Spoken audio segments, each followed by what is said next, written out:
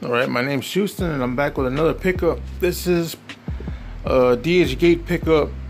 It just came in yesterday, and I ordered these in February.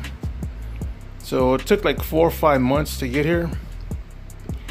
And they came in a plastic bag with bubble wrap. So they were real flattened down. I got some stuff, um, the toe box stuffed here because of the way the shoe was flattened down. Like it was all to one side, so I had to stuff the toe box to get the shape back. And you can see there's a huge dent right there that that's not coming off. And uh, that's the way they came packaged. Um, so I just threw the bag away with the bubble wrap and figured um, I'll just make this video to show you what you get with the I think these were like 50 bucks. So this is the typical DH Gate quality you get with $50 shoes, which is the lower end, low end quality materials, the lowest quality materials, and the poor glue jobs that they do when they make these cheap shoes. And you don't know what I'm talking about? Look at that.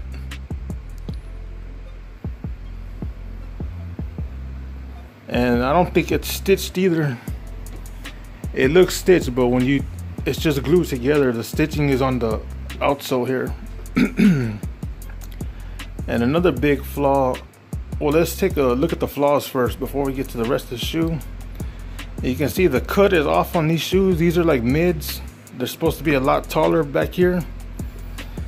And this is supposed to be patent leather under here. I try to make this one glossy.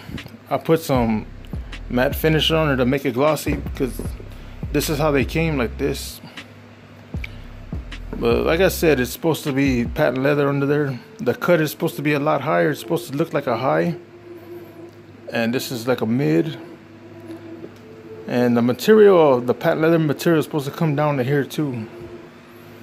And you can see it doesn't. And another flaw seen on these is the right here you can see that's supposed to have a C, not an O. The outline for the Nike check is way too high. And just the, I think the font is off too. I don't know if it's supposed to be like the Chicago ones where it's kind of smudged. So inside the shoe, you can see this tag. There's a tag. It looks like a sticker. Yeah, it's a sticker. So that's probably going to fall off after a wear or two. And uh, it's got peaks on the tongue. So that's flaws too. It didn't come with the with the leather laces, the raw leather laces. It just came with these and this bag. And I don't think they're supposed to come with this. Um, these don't even say shoelaces on it. They're just orange and green laces. And I think that font is way too skinny. And here's the other one. Yeah, so the suede here is not doesn't feel like real suede. It feels like like a cheap felt material. It's real thin. But um let's get into some of the pros now. Now I do like this leather that they use here on the uppers. It's real soft.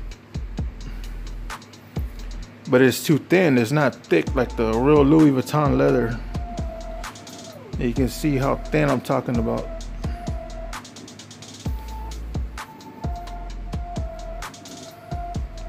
Here's the other side. You can see the thin, how thin it is. And these do say 85 in the back take this off. See, it's got the 85 back there. But like I said, it's too thin. I do like the texture on it. It does feel like Louis Vuitton. That little bumpy texture it has. But you can easily tell it's not real leather by the feel of it. It's not as soft as it should be. And here's another look. It's, you can see what I was talking about. That's supposed to be patent leather under here. Tongue's okay. It's, it's pretty soft. But again, the shape is wrong. that tongue's just straight back it doesn't have no curve to it I guess after you wear it it might take the shape it's supposed to the Nike check here's shape is wrong look at the shouldn't they go like curve more back and uh, what I'm gonna do is um I'm gonna go ahead and buy the the ones the higher quality ones that come in the suitcase. And I'll do like a comparison of the two so you can see the difference in quality and uh, showing what you get when you pay the higher price for them and I really don't know if they have any more left. They might be sold out but I'll go ahead and check on it and see if I can get a pair of those. Because I do want to wear them but I can't do it like this. There's too many flaws in these. I need to get a. I went ahead and ordered the laces it's supposed to have, and I'm gonna fix the lettering here, and then uh, reshape this shoe to get it the way it's supposed to look, at least in the shape, the shape it's supposed to be in. So these will be kind of like beaters or something wear around the house every day. It's got peen on the bottom.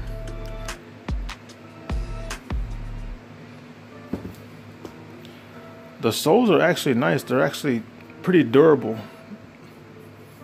And you can't squeeze it like you normally could on a cheaper pair, how they fold in half when you squeeze them. Yeah, these are pretty durable. So let's take a look at the bottom of these. Yeah, so they got pros and cons to them. Let's see if this one's crooked. Lay it flat down and face it up. Yeah, this one's a little more straight than the other one. This one is, it's really bad on this one. You can see the shape of it. I don't know, maybe if I wear them a little while, it might straighten out the shape. But we'll go ahead and um, or more more than likely I'll go ahead and wear them a couple times and see how the shape comes out on them. But yeah, like I said, um, I don't think I'm gonna be ordering DH Gate stuff anymore. I kind of got used to the higher quality stuff you get from the seller that I use. And if you want his information, I'll give that to you on Instagram. I can't do it here. I can't send pictures through the YouTube comments and that's for the people that keep asking me why I don't respond to YouTube comments. I can if you ask questions, but I like to send out pictures of the stuff that I'm showing you. So that's why I do it more on Instagram. So you can go over there. It's the same username as my YouTube channel, which is Screwston Shoeston. If you need that information on the sellers that I use, because there's more than one. I think I'm gonna try another one that I came in contact with and they do give you deals if you shop with them more and more. You can actually do bulk orders and get your stuff maybe 20 to 30 dollars cheaper since you're buying more and more pairs.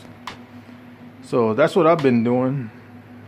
I think I'm gonna leave DH Gate alone because like I said this is the quality you get with them. And a lot of the good sellers they seems like they don't really care anymore since they got so many people shouting their name out for free, giving them free advertisement and stuff.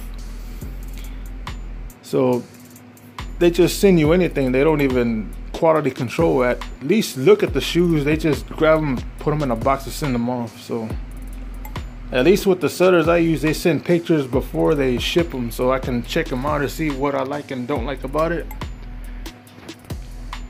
And if I would have seen a picture of these, I definitely would have said no. So yeah. Can't really complain about it too much because these did end up being free. I got a refund of these maybe like a month or two ago, so they just showed up, so it's basically a free shoe. So I can't really complain about it, so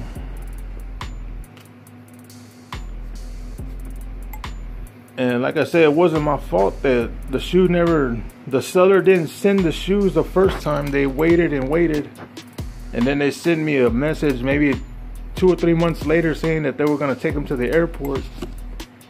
And that was, like I said, two or three months ago. So they finally showed up after five months, four or five months. So I'm gonna go ahead and get up out of here and I'll catch you on the next one.